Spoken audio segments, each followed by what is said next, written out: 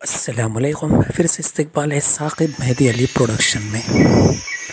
नाजरीन, पुराने वाक़ात हो या नए किस्से हो, इस्लाम इल्म नाफ़े, यानी नए इल्म नाफ़े को भी पुराने इल्म नाफ़े की भी इजाज़त देता है।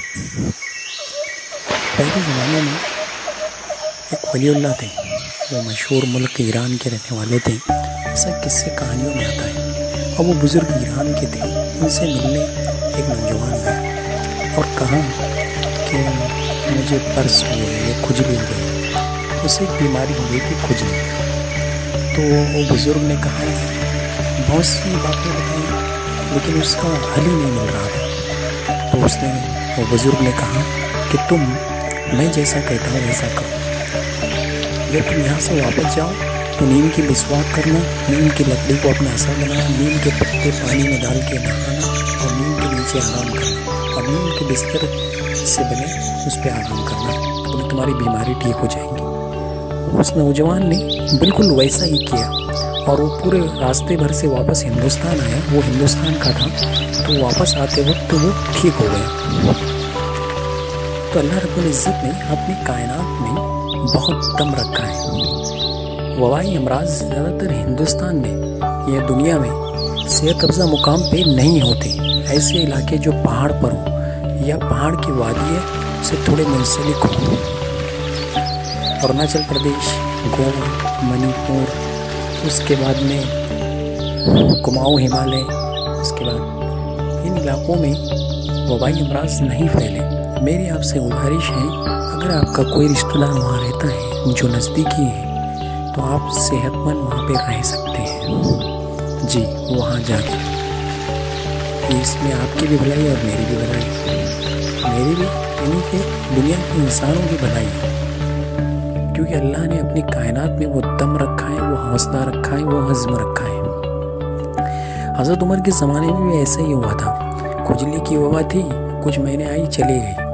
लेकिन अबूदा बिन जरा हज़रत उमर ने कहा कि जितनी की जितनी फौज है उन सबको आप किसी सेहत अफजा मुकाम पर डाल दो। लेकिन अबूदा बिन जरा ने उससे मना किया, फिर हज़रत उमर ने स्टेज दिया, वो तो खलीफा थे। हज़रत उमर के हुक्म का ऑर्डर मिलते से ही, जितनी भी फौजें थी और जितनी आबादियाँ थी हज़रत अबूदा के ज़रिए, वो उनको खूबसूरत और सेहत अफजा मुकाम पर डालने लगे। उसमें खैबर भी, सेहत अफजा मुकाम था खैबर में चले गए, राबेग में चले गए और ताइफ में चले गए। यहाँ तक कि बहुत सी आबादियों को उन्होंने मुंतकिल किया, पूरी आबादियों को मुंतकिल किया। तब जाके वो खुजली ख़त्म हो गई और सारी की सारी ज़िंदगी मामूल पर आ गई।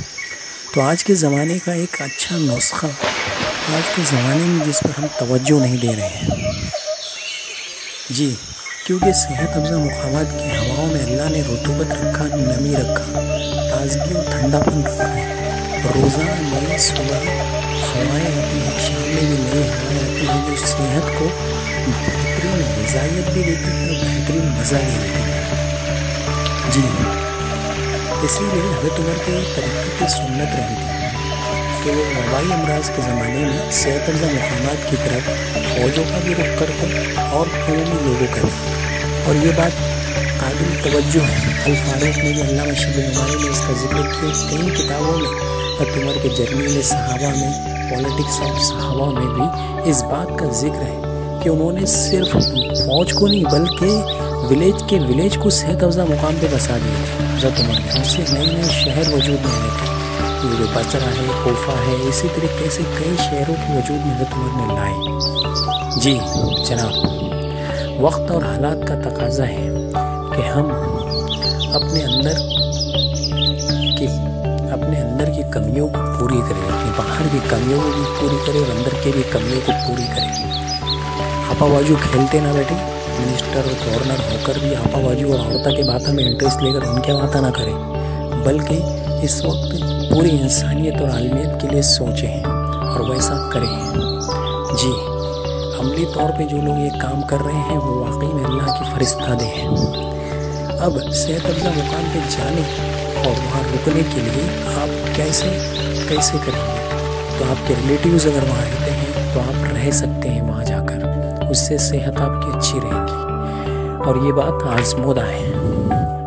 किसी भी वबाई अमरज को ख़त्म करने के लिए सेहत अफजा मुकाम बहुत काबिल सद आफरीन रहा है। जी हाँ हवा हवा इंसान की सेहत को बदलती है। अच्छी हवा और समंदर की हवा, नज़दीक की हवा उसके बाद पहाड़ों की पहाड़ों की खूबसूरत मकाम की हवा।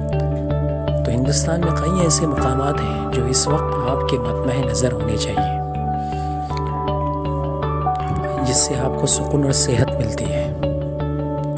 अल्लाह रब्बुल इज़्ज़त से मेरी यही तमन्ना है कि वह आप लोगों की सेहत को कामिल रखे अच्छा रखे। इसीलिए मैं बार बार रिक्वेस्ट कर रहा हूँ उन लोगों से जिनके ख़ानदान वहाँ पर है, वो चाहे वो वहाँ पे रहें तो उनकी सेहत बन जाएँगी। जी हाँ।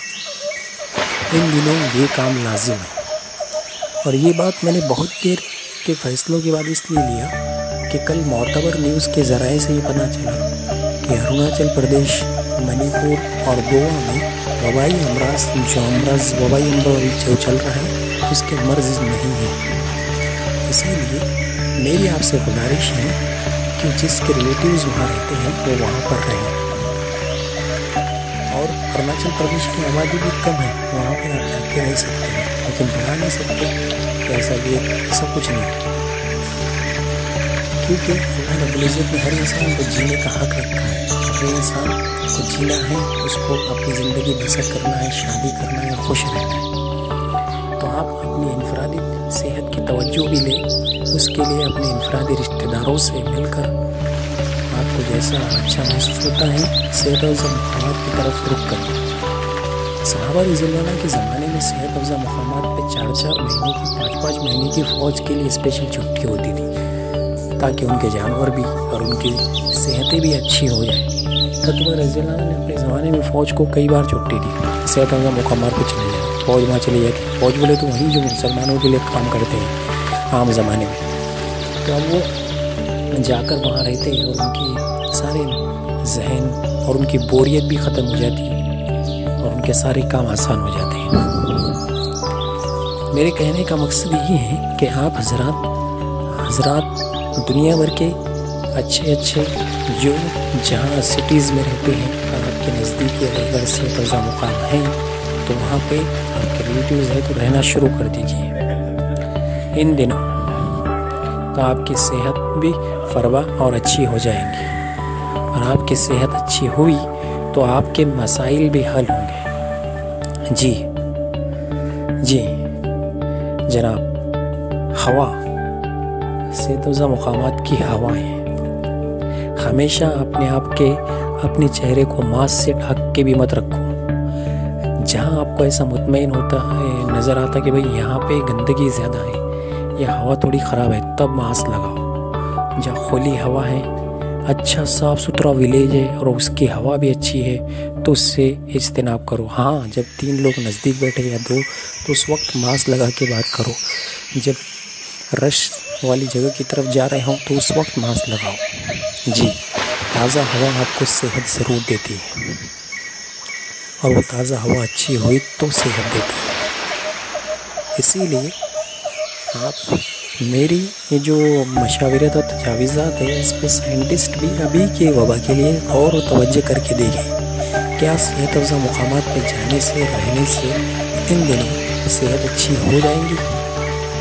या जो अमराज यहाँ के मिल रहे उनको